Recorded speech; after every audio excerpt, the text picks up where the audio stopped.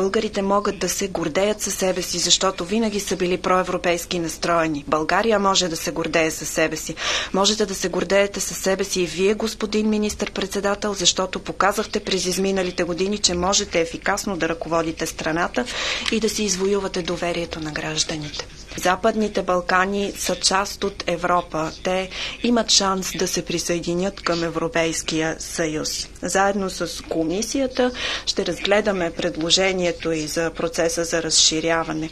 Одобряваме предложението за европейска перспектива за Западните Балкани. ЕНП настоява за изпълнението на конкретни проекти в региона. Така гражданите в региона ще осъзнаят, че е добре човек да е част от Европейския съюз. Затова нека се съсредоточим върху изграждането на инфраструктура там. Всичко най-добро за българското председателство ЕНП ще продължи да подкрепя Бойко Борисов. Това, което искам да кажа е, че ви очаква нелека задача. Вие ще трябва да поставите Европа на пътя на солидарността и да я насочите към бъдещето. Вие имате чудесна програма. Иска ми се да оставите своя отпечатък в някои от политиките, които цитирахте. Ние, социалистите, ако трябваше да избираме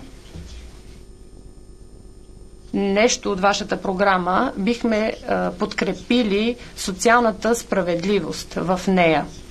Това очакват европейските граждани. Заявихте, че България осъзнава какъв е миграционният натиск, тъй като сте толкова близо до Западните Балкани. Трябва да наложим спазването на европейските и демократични ценности в региона, тъй като на тях се основава Европейският съюз.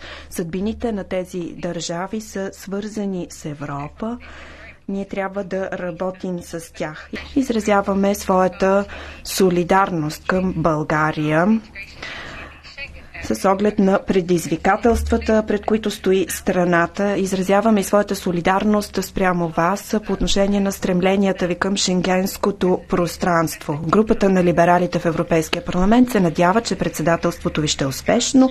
Можете да разчитате на нашата подкрепа.